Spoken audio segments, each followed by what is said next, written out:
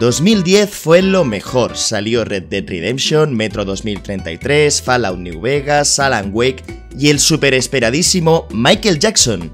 The Experience. Y claro, con todos esos juegazos era imposible jugarlos todos, pero hubo uno que me llamó poderosamente la atención. Aparte de My Little Pony Twilight Sparkle Teacher for a Day, juegazo por cierto. En 2010, ojeando mi queridísima hobby consolas, vi que hablaban de un shooter llamado Syndicate o algo así, un juego basado en pegar tiros y en controlar el tiempo. Así que pensé, hmm, no hay muchos shooters que hagan esto. A ver, que en Bioshock también tienes poderes, pero ¿poder manipular el tiempo? Hmm, esto es nuevo. Debo jugarlo. Y cuando fui a comprarlo vi que también había salido Assassin's Creed La Hermandad y Gears 3. La decisión era muy sencilla, otra entrega del juego de parkour de nuestros abuelos italianos, el tercer juego de señores con hipertrofia equipados con rifles motosierra, o una nueva IP completamente nueva basada en un mundo interesante. es normal que muchos no conozcáis este título o no lo hayáis jugado, es uno de esos juegos tapados que por cualquier motivo no ha salido a la palestra. Y es curioso que tenga que haber pasado tanto tiempo para poder por fin haberlo completado, cuando bueno, es que el juego se basa en eso, ¿sabes? En viajar en el tiempo. ¿Sabes What If, la aclamada serie de Disney del vikingo buenorro? Pues este juego es un... ¿Y si los rusos hubieran gobernado el mundo? ¿Qué habría pasado? ¿Beberíamos todos vodka en vez de zumo de melocotón? ¿En España nos dedicaríamos a torear osos en vez de toros? Todo el rato. Aunque bueno, ya no sería torear, ¿no? Sería más osear. Jeje, guiño. Bienvenidos al análisis de Singularity, el shooter de viajar en el tiempo.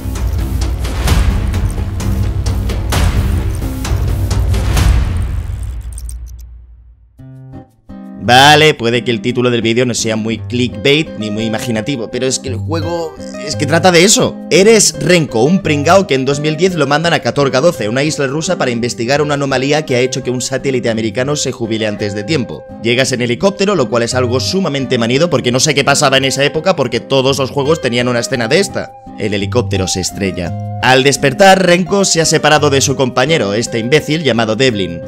Devlin muere. Pero espera, estarás pensando, Renko y Devlin no son apellidos muy americanos, ¿right? Les pegarían apellidos más como Smith, Allen o Jameson. Sí, mi querido amigo, hay un motivo para que los soldados americanos tengan apellidos tan soviéticos. Resulta que en la línea temporal del juego, los rusos ganan la Guerra Fría en 1955, lo que hace que en 2010, que es cuando se desarrolla Simbiosis, todo el mundo esté influenciado por la cultura soviética. Y me parece una idea excelente ver cómo sería nuestra realidad si los soviéticos hubieran ganado, porque hay tantas cosas que damos por hechas de que lo son porque así ha sido toda la vida, que no nos damos cuenta de que la mayor máquina socializadora del mundo, Facebook, es americana. E incluso el servicio cultural más influyente de la historia, Netflix, también es americano. Esto es algo que veremos en todo el juego, el cómo habría sido si la Guerra Fría se hubiera decantado por la victoria comunista. Pero el juego, en vez de verle los pros, que supongo alguno debe haber, solo muestran lo decadente y dictatorial que es todo. Esto es algo bastante común en los juegos de la época. Los malos son malos porque lo son, y punto. Las quimeras de Resistance provienen de Rusia y simplemente son malvadas eh, porque sí. Los Locus de Gears también son malos porque, porque mira, porque son diferentes a nosotros y Michael Jackson es el Ayuwoki. Ahora estamos más acostumbrados a ver historias más grises, que dependen del punto de vista por el que lo mires, pero en la época había pocos juegos que intentaran dar una voz racional a los enemigos. Incluso Bioshock, un videojuego centrado en el hombre como amo y señor de su destino, no escapa de estos tropos. ¿Qué? Molaría un análisis de Bioshock, ¿verdad? Déjame un like. Volviendo a Simplicity, la escena inicial lo es todo, te lleva de la mano para que entiendas que todo lo que ves es fruto de la historia. Cuando entras en este pabellón ves este busto gigante de Stalin, el héroe de la Unión Soviética, avanzas un poquito, suave suavecito por el edificio y de pronto...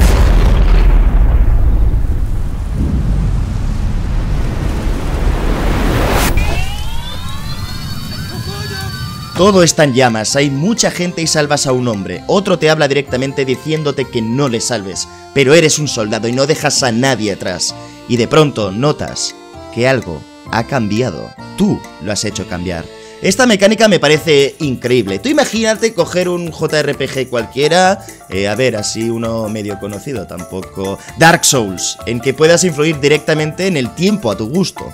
Yo qué sé, podrías viajar entre dos Lordran, ¿no? La del pasado, cuando todo era chupi fantástico y los dioses y la gente estaban ahí del chill y vayas con Win y cuando te diga voy a matar a todos los dragones y a quemarme a lo bonzo en el microondas, ja ja ja ja. Pues tú le dijeras, eh, pues no mi cielo, hoy no toca. ¿Ves? No habría almas oscuras. Luego el spin-off sería Dark Souls, pero el juego original se llamaría Almas Claras, supongo.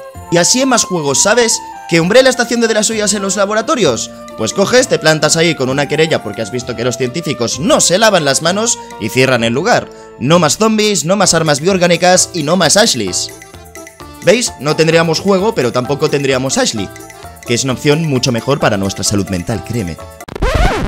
Vale, va, el juego está bastante guapo. Es una mezcla entre Bioshock por sus mecánicas, ya sabes, piu piu piu, y hacer viajar a un enemigo hasta el momento de su muerte y posterior desintegración. Y Metro 2033, por lo de que está ambientado en Rusia y está todo así como muy sucio. En la introducción del juego, que para ser un PowerPoint hecho con el presupuesto de un Big Mac, está bastante chula. Nos cuentan que en la isla existe un elemento químico único que solo está en esa parte del mundo, llamado E99 que suena mucho como a un edulcorante, pero es más eh, vigorizante. El E99 es un componente que puede dar mucha energía, lo que hace que en tan solo 4 años la Unión Soviética pueda construir un complejo tan... Eh, tan, eh, tan complejo en una isla. Tienen laboratorios, viviendas, un puerto, un sistema de trenes y una antena que da un mal rollo de la hostia. Tienen de todo. Pero eso no se construye solo con energía. Necesitas manos que lo hagan. Y aquí viene mi parte favorita del juego. En la isla vivía mucha gente, desde científicos, militares, obreros, profesores, personal médico. Era como una ciudad entera y mientras vas explorando las diferentes zonas vas recogiendo trozos de papel que te cuentan qué estaba pasando y eso le da un trasfondo increíble. Toda esta área, por ejemplo, es una escuela. Si no te paras a leer los documentos, vas a pasar por ahí pensando únicamente en seguir adelante. Pero si atas los cabos sueltos, acabas descubriendo que los científicos de la isla estaban probando el E99 con los niños. Mirad, voy a leeros dos fragmentos para que me entendáis. El primero está en la cafetería de la escuela y dice esto. Personal de cocina, por favor, pongan 30 gramos de este polvo en la comida de cada estudiante de la mesa 1. Es un suplemento experimental completamente seguro. Gracias, el director. Pero luego encuentras otra nota en una de las aulas escrita por una profesora que pone No estoy seguro de qué planea el director, pero desde que empezaron a asignar asientos para comer, varios estudiantes se han puesto enfermos y algunos de gravedad. Esta noche voy a inspeccionar la cocina para ver qué estamos dando de comer a los niños, y si encuentro algo extraño, se le diré al doctor de mi chef. Él lo arreglará. Eso mola mucho, podrían no haber puesto nada, podrían haberlo dejado tal cual que con el mal rollo que da la escuela ya de por sí ya te cagas de miedo encima. Pero en vez de eso, te cuentan, si tú quieres, lo que mató a los niños. Mirad este otro momento. Entras en un bloque de pisos, empiezas a investigar y...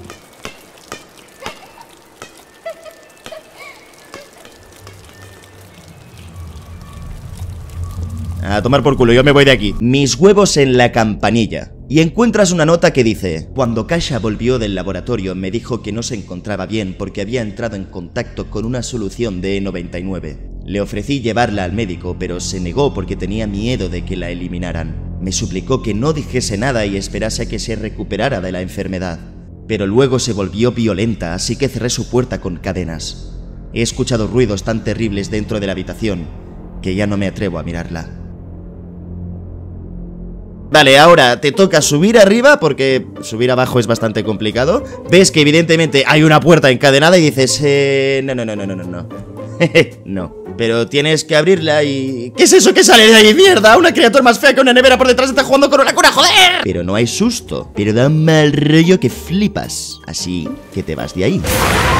Vale, ok, vale, sí, hay un susto. Pero te acuerdas en ese momento de que esto es un shooter y puedes shootear a los enemigos. Y aquí viene mi principal pega con el juego, solo puedes relacionarte con el mundo activando ciertos objetos que no hacen nada, disparando o usando tus poderes. ¿Ves un puzzle? Poderes. ¿Ves un monstruo? Disparas. ¿Ves a un comunista? Pues desintegrado que vas. Y es que los momentos de tensión o terror de este juego son tan sumamente buenos que me siento mal cada vez que hago un carpacho con mi escopeta. Oh, esto no lo estoy disfrutando. Qué pena. A ver, a ver, que sí y que no. Hay varias armas en todo el juego. No son muchas, pero cada una te permite agujerear cosas vivas de distintas maneras. Empiezas con un revólver que... ñe. Luego te dan una escopeta, un rifle de asalto y acabas con una Gatling haciendo pedazos todo lo que se te cruce por delante. Me gusta porque hay una progresión en las armas y cada vez te vuelves más poderoso. Pero es que los combates son tan sencillos y los encuentros tan triviales que empiezas... ¡Oh, mierda! ¡Oh, ¡Joder! ¡Hay muchos! ¡Ah! ¿Dónde voy? Y a la que llevas media hora de juego... Oh, sí, enemigos, ay, mira cuántos hay, qué angustia. Eres demasiado poderoso y aquí viene mi otro punto en contra del juego, el DMT. Y dirás, ¿DMT? ¿Qué son las siglas de detector de memes terroríficos? El DMT es el dispositivo de manipulación temporal, que es una especie de... Eh, ¿Brazalete se llama esto? Que te permite alterar el estado temporal de un objeto, una persona o una zona entera. Y no hace falta que cuente las implicaciones de cambiar el pasado. Todos hemos visto la peli de los 80 de los Vengadores y la maldición de la perla negra, ¿no? Este es el gran atractivo del juego. Si en Bioshock eran los distintos poderes como el fuego, la telequinesis, aquí lo que mola es poder cambiar el tiempo. Deja que te diga que... Tenían una mecánica única, novedosa, refrescante, nueva, y puedes hacer cuatro cosas con el guante. Envejecer cosas, rejuvenecer cosas crear estas esferas que ralentizan el tiempo y por algún motivo que no entiendo, recoger objetos a distancia, que no tiene nada que ver con la manipulación temporal. Ah, bueno, y tienes el empujón, que convierte a tus enemigos en un enemigo sin cabeza. Pero volvamos a la historia, tiene una trama muy interesante que evidentemente, si es un juego al estilo Bioshock, vas a tener que leer y escuchar muchas cintas. Y además, de vez en cuando hay unos mensajes crípticos escritos que dan mal rollo como Ella va a morir.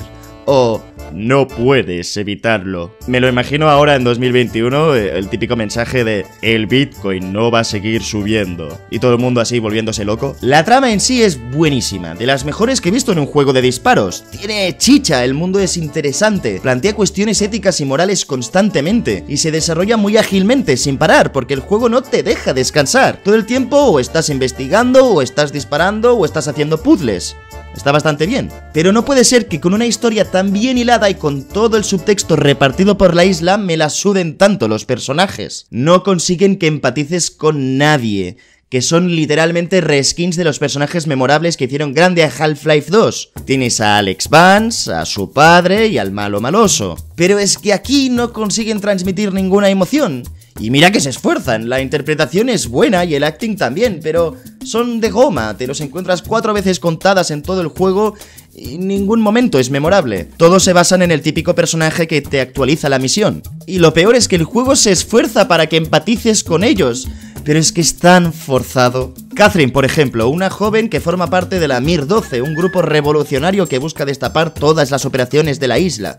Hablas con ella tres veces en todo el juego y cuando supuestamente muere, no lo ves, te lo cuentan y te la suda. Que solo hay cuatro personajes en todo el juego, no puede ser peor. Pero, pese a ello, recomiendo el juego como una buena aventura narrativa de acción. El juego tiene la duración justa, va al grano y tiene material suficiente como para hacer una saga entera. Además, los varios finales dan mucho que pensar sobre una futura secuela. Es un buen juego de acción, tiene una buena historia y el ritmo no para, nunca. Muchas gracias por haber visto este vídeo, dale like si te ha gustado. Estoy pensando en hacer un vídeo de Resistance, ahora que vuelvo a jugar juegos un poco viejos, pero puedes elegir tú, porque también apetece uno de Bioshock, uno de Vice City. Elige tú, porque si no, lo hará el Ayuwoki.